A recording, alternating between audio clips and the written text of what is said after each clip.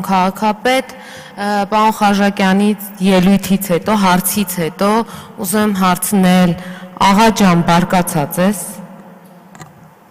Դուք արդեն օրերորդ անգամ խնդրում եմ հանրությունն էլ հուսով եմ սա կնկատի եւ կգնահատի, որ դուք անցնում եք ուղղակիորեն թույլատրելի սահմանը։ Իհարկե մենք արդեն սովորել ենք, որ դուք որթեգրել եք այն սկզբունքը, որ լավագույն պաշտպանությունը հարցակումն է, բայց չէ, էլի։ Մի արեք այտենց։ Հետո ասում եք ինչ են նիստը բորբոքված անցնում։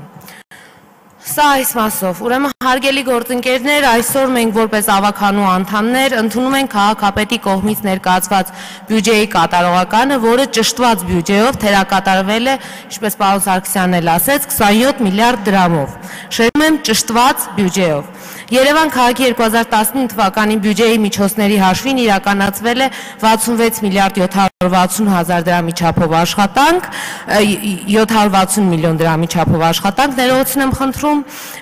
կազմելով ծախսերի 70.5%-ը։ Ուրեմն ինչ է սա նշանակում։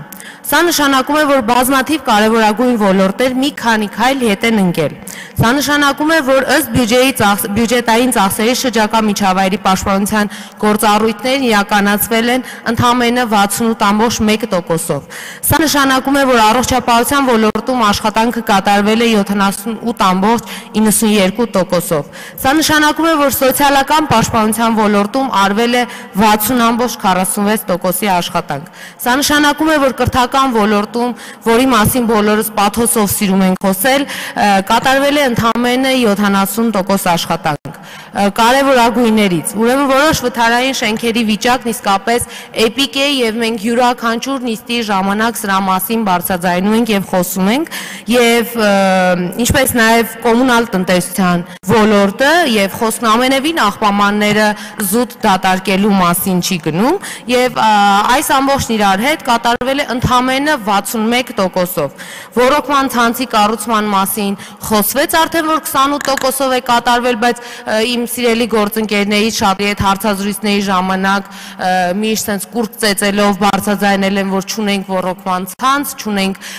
գծագրումներ եւ այլ եւ այլ, համամիտ ենք, ճունենք տարվա մեջ ընդամենը 28%-ով են կատարել։ Պարոն Արյանի իհարկե դրան էլ անդրադարձավ։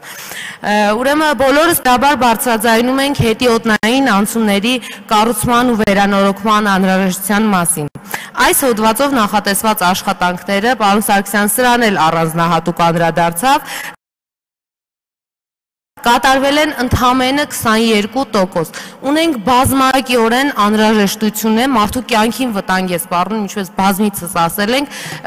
հետիոտնային անցումների կառուցումը, վերգետնյա անցումների կառուցումը, բայց փողն ունենք, գործ չենք անում։ Ընդամենը սա սա է նշանակում։ Բայց մի շատ լավ լուրել ունեմ,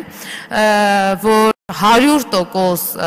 բյուջեի կատարում է եղել, դա շների ստերջացման հողակն է։ Այս մասով ես ծիծաղով էի վերաբերվում ինչ-որ մի ժամանակ, որ սա երևի առաջնահերթությունն է, ամենաառաջի կետում է դրված քաղաքային իշխանությունների, բայց արի ու տես, որ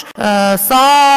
ամենալավն է կատարվել եւ արդյունքի մասին կարծում եմ ընդհանրապես արդեն անհրաժեշտություն էլ չկա խոսալու որովհետև քաղաքացիների աչքի առաջ է։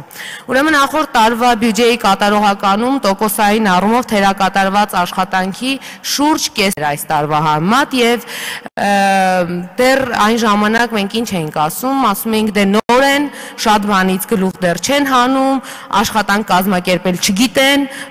ոլորտին ու գործառույթներին ծանոթ չեն եւ այլն, թողեք թող աշխատեն։ Անցավ մի տարի եւ ներկայացվել ավելի վատ եւ ավելի թերակատարված բյուջեի կատարողական։ Ես հուսով եմ, որ մյուս տարի, երբ քննարկենք 2020 թվականը արդեն կրկնապատկված եւ 50% դարձած չի լինի բյուջեի կատարողականը։ Շնորհակալություն։